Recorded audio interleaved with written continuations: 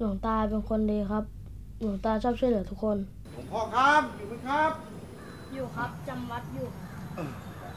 หลวงตา มีคนมาหา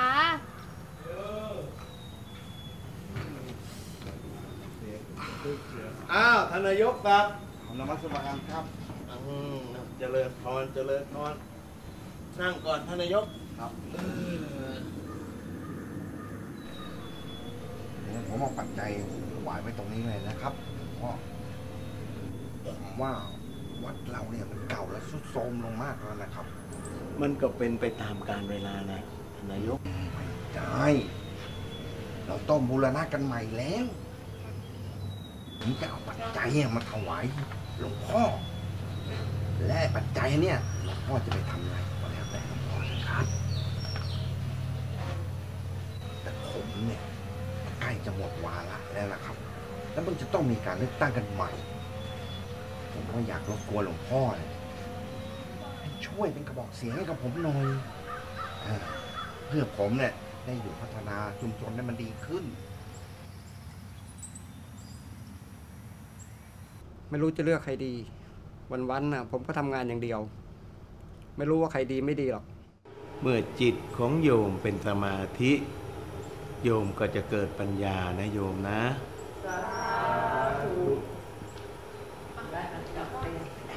ก่อนที่โยมจะแยกย้ายกันไป อาตมาอยากจะขอพูดอะไรสักหน่อย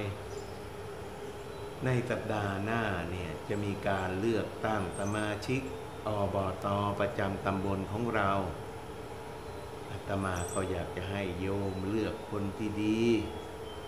เพราะว่าถ้าเราได้คนที่ดีเนี่ย เขาก็จะมาพัฒนาชุมชนและตำบลของเราเนี่ยให้มันเจริญทัดเทียมตำบลอื่นๆเขานายกศักดิ์เนี่ยเขาก็เป็นคนดี แล้วก็อยู่ในตำบลของเรามานานแล้ว ฉะนั้นการที่โยมจะเลือกใครเนี่ยต้องพิจารณาให้ดี ให้ทีท่วนนะโยมนะ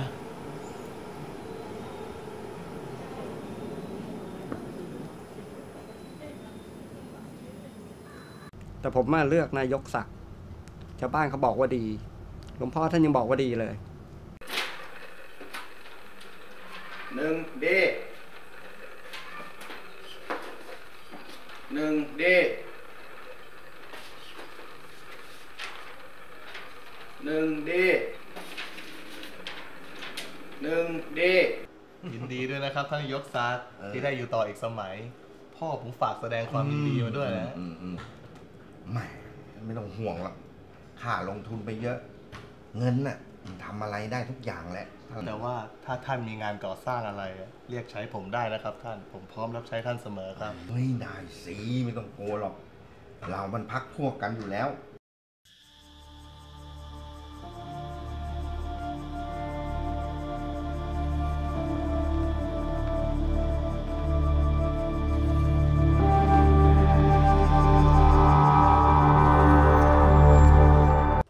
ปลกนะครับ ที่พระมาซื้อรถ แต่เขามีเงินมาซื้อผม ผมก็แค่ขาย เขาได้รถ ส่วนผมก็ได้เงิน มันคืออาชีพของผมอยู่แล้วครับ แล้วรู้จักการคอร์รัปชันหรือเปล่า ไม่รู้จักครับ รู้จักนะครับ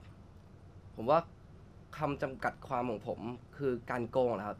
แต่ผมว่าคนเราถ้าไม่ทำชั่วกับใครอะ มันก็ไม่น่าผิดนะครับ ก็ให้พวกนักการเมืองทั้งหลายนั่นแหละ โกงประเทศ โกงภาษีประชาชนอย่างเราเราๆ พวกคนใหญ่คนโตคนมีอำนาจ มันถึงได้โกงกินกันสบายเลวเลวจริงแล้วที่หมู่บ้านลุงมีการคอร์รัปชันหรือเปล่าครับๆไม่มี